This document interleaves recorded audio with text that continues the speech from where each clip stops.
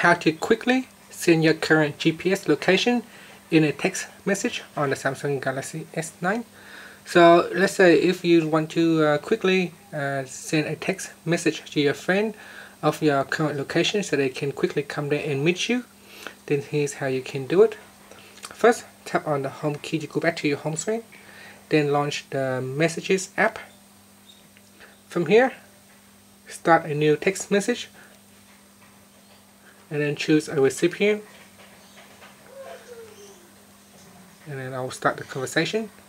Now in here tap on the plus icon next to the text field. And then tap on the GPS location right here.